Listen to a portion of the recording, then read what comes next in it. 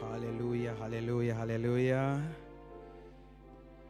Uh, before we begin our program, I would like to mention a few prayer requests and then I will call Pastor Christian to pray for our friends. One of them says, I need prayers for my wife who went away um, with my two children to come back. This is not easy. It needs God's intervention. My wife left with a nine month old child, and my prayer is that the Lord may give me wisdom to care for him. I, I think the meaning of this is maybe the wife left and this man remained with nine months year old, uh, nine month old child. So this is a challenge. Uh, the other one says, Pray for me that I may marry my fiancée.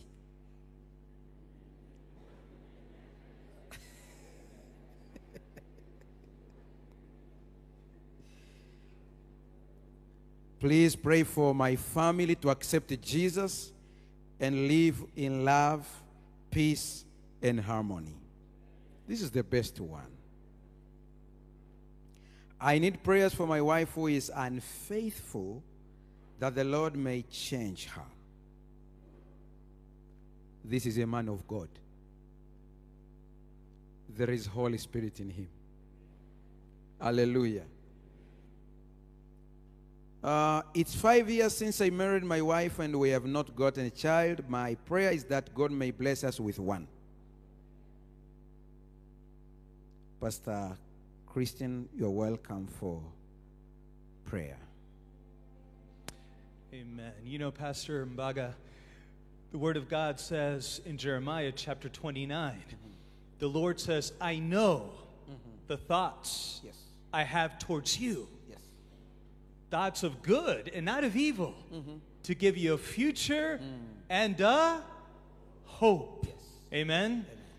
And so we are coming before God who invites us to pray and to seek Him with all our hearts. Let's pray together. Oh, Father in heaven,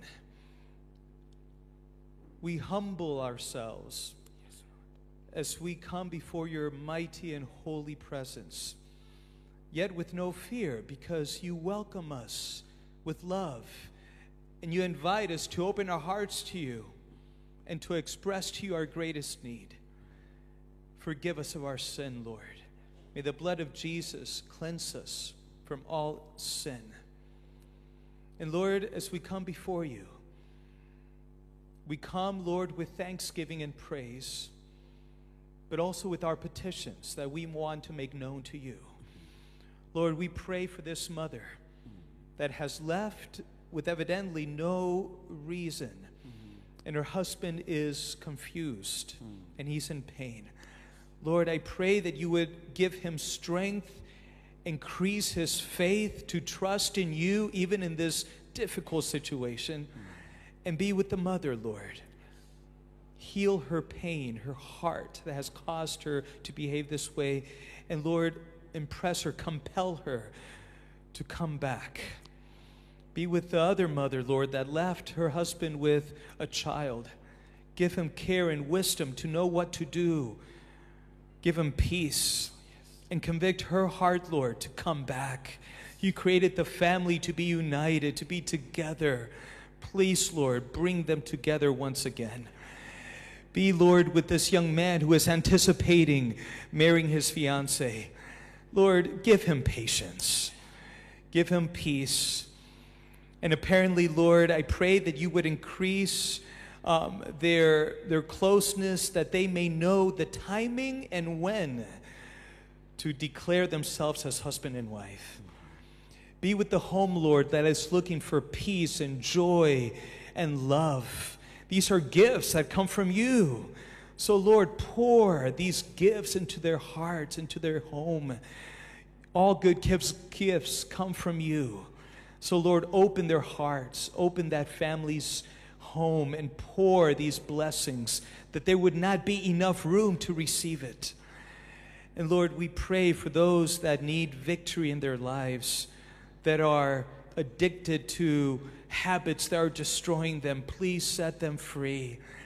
And Lord, we pray that you would heal the pain of marriages that, that need healing, that have been damaged by many reasons. And Lord, you are the God who is able to not only heal, but to bring victory so that they will grow stronger and closer to each other every day.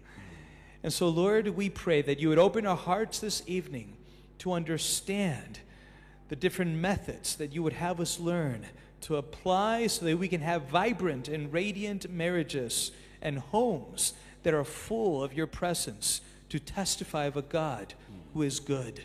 So we thank you, Lord, for hearing our prayers. In Jesus' name, amen. Amen. Thank you, Pastor. Um, these methods will save your marriage. I'm presenting to you some researches which have been conducted about 70 years, 50 years.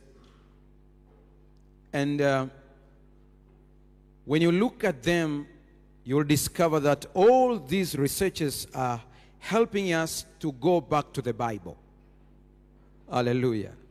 Hallelujah. The Bible is everything. There is something I just want to, to make it open because when uh, the person who was introducing me just mentioned it, so I want to make it so open.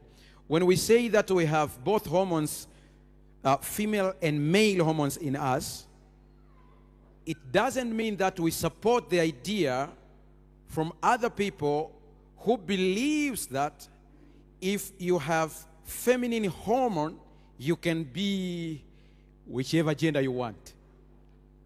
Are we together? No, we don't support that. By the way, if you, you, you, you go deep in so called homosexuality, it is devilish. But also, they are tampering with our biology through foods and everything. So, we believe that God created woman and a man, or man and a woman but both are human beings. Hallelujah. These methods will save your marriage. Uh, don't forget this. Share only informations that you are sure they can't assassinate the character of your spouse. You remember that? Make sure the person you talk to is a person of good reputation and good conduct. So don't talk just because you want to talk. Don't share informations because you just want to share informations. Information is power. Whoever you talk to, he or she may use that information against yourself. Before you share the information, you have to ask yourself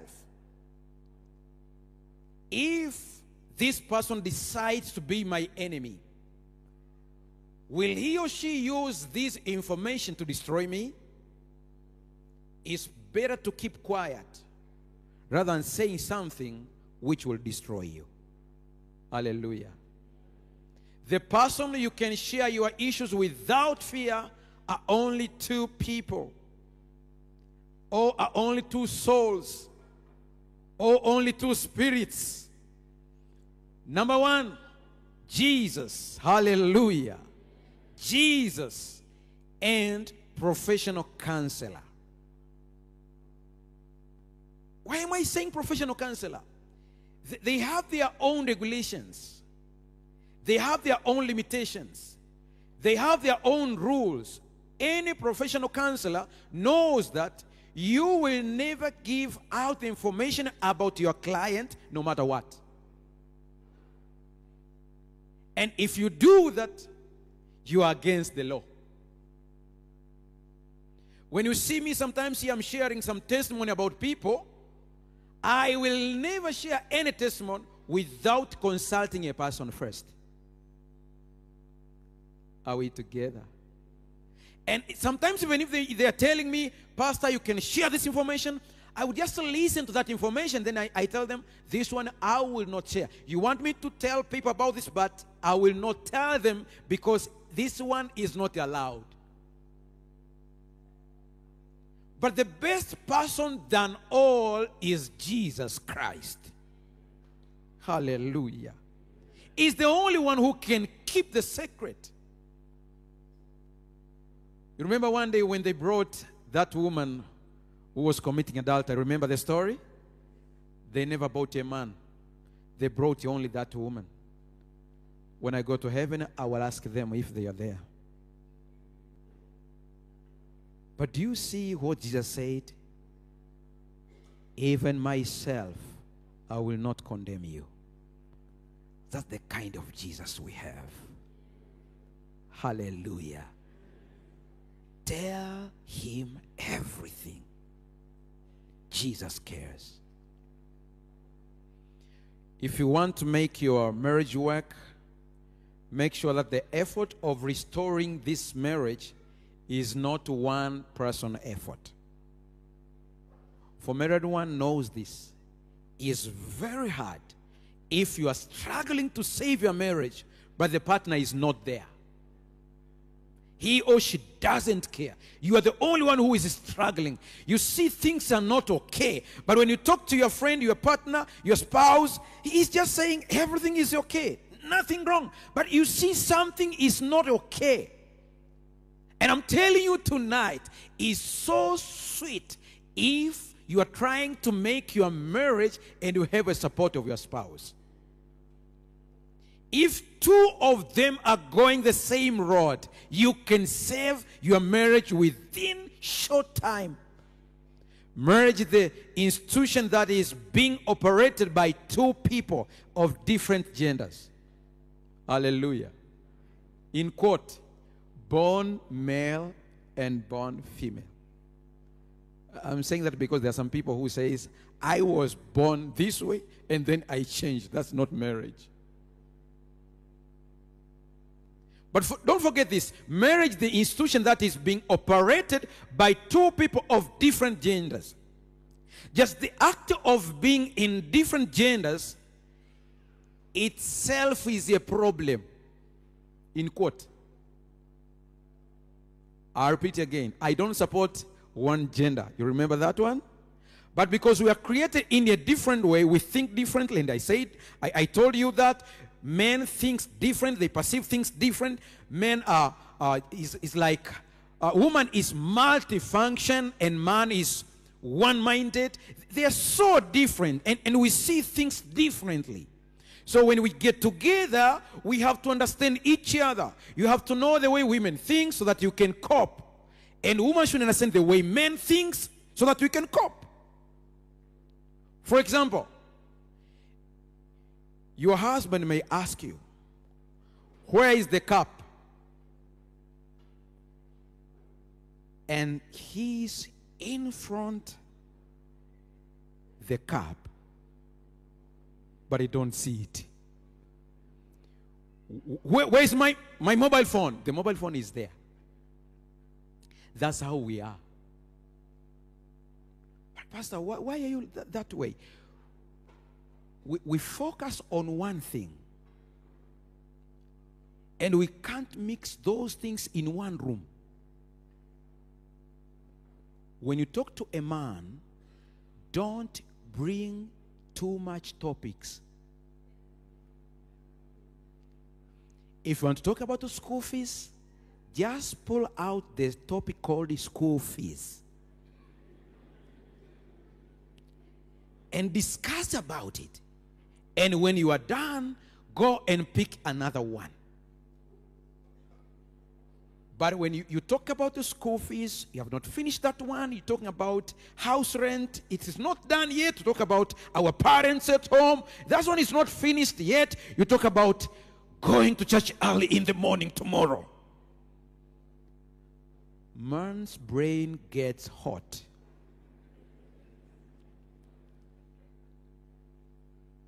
But a woman can talk about many things at once without making a mistake. God created them that way. Hallelujah. By the way, even if you have a, a girl at home, girl speaks faster than boys. And I'm telling you this evening, when it comes to argument, we will never win the argument when we argue with women. And the only way we do when we see that they are defeating us, we become angry. So when you talk too much, I'm getting confused. I can't defend myself. The only thing I'll say, I am going out. Don't disturb me. Just that's the sign the brain is hot.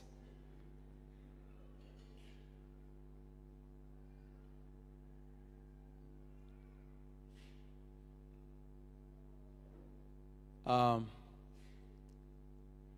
if anything wrong happens, there must be a joint effort from two of you to solve the problem.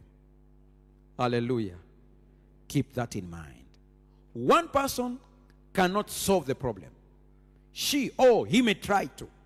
But along the way, she or he will not succeed alone. Yes, we need cooperation in this. The Bible says, Can two walk together unless they are agreed? Maybe you see your husband has a problem or your wife has a problem. If you approach the person and tell him or her that there is this and this is not okay, if she cooperates, like saying, Yes, I can see this and this is not okay, how can I get out of this situation? If two of you agree, you can work together. Things we need to stop doing if we want healthier relationships. I'll just mention them. You can take them later. Number one, stop overthinking everything and instead hold each other accountable to speak up when something is bothering you. Hallelujah. Overthinking is a problem. What does it mean? Your spouse can do something wrong. Instead of thinking of this, just a single thing which is not right, you begin taking everything for yourself. He did this because of this and this. He did this because of. He's just ignoring me. I've been saying this every day. That's overthinking. And I am sure he did this purposely. There is no mistake here. He intended to do it. That's overthinking. Uh, remember, I told you that any negative thought that comes in your brain, the more you repeat it, the brain tells you it's true. So don't entertaining overthinking. If there is a problem, just talk about it, open up, say it, speak how you feel. And if you are listening when your friend or your spouse is expressing his or her feeling, don't take it personally, especially if it's a woman. Because they can even cry. And a man will say, I don't see any reason for her crying. Why, why is she crying? She is crying because to them everything is connected with emotions. Everything. Food, color. Even when you see them wearing any clothes, it's not for you, it's for them. Are you there? So don't think that a woman will wear clothes for you. No, it's for them. It depends on the feeling of the day.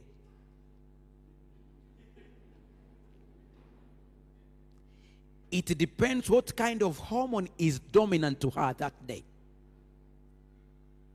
So when she comes out, is Blue Monday, she will come out with blue like this one. Oh, let me tell you. She may go inside the room and have a cloth and come out. The feeling will tell her no. she will go inside and change the second one. The feeling will say yes, but when she gets out, the feeling says no, she will go back again. It depends on the feelings of the day. So don't shout say, What are you doing? When I'm talking to men about coming uh, to church early, most of them are saying, Pastor, we want to go to church on time. But my wife will always come late.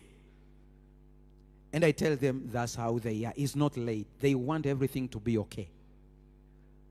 Because even the small porch they are holding is connected with their feeling.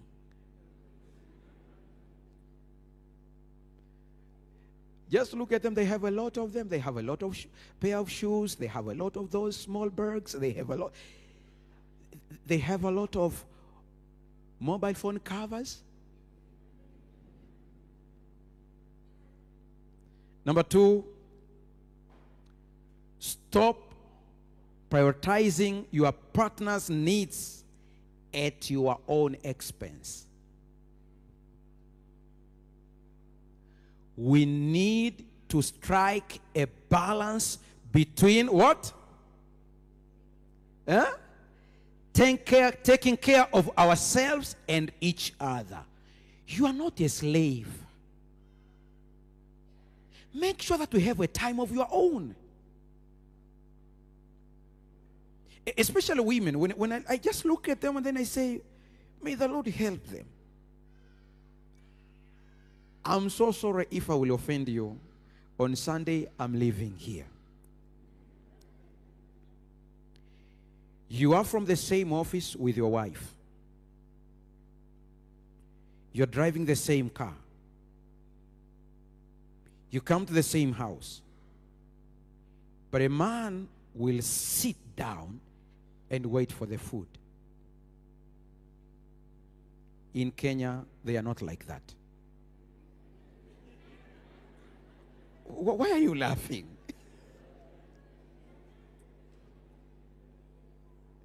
Just think about this. Both of you are from the job, not work, job. You are coming home together, and another one is busy cooking, washing those things you know, and the other one is reading the magazine, waiting for food. And you're waiting there. A woman will give it for you. You are eating comfortably. And during the special song, you need singing.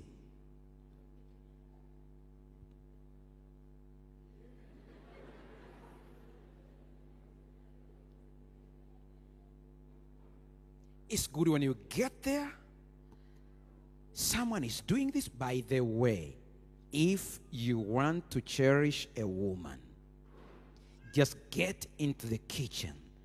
Tell her, I will cut small this sukuma wiki. Just relax. Wait for me to do it. Hallelujah. Precautions. And when we help you, don't criticize us. because he may help you and then you say, "Mhm. hii ya leo. No no no no no no no. Appreciate. Hallelujah. Yes appreciate. That's how it should be. Appreciate if we help each other the smile will be bigger hallelujah hallelujah I remember one of my friends said, Pastor, I will take this in action. Is is my friend. My friend is a brother. And when he went home, he told his wife, just relax. I will cook. And I will cook ugali. He got into it, cooking. And everything was okay on the table. And the woman came. You, you're welcome. You're welcome.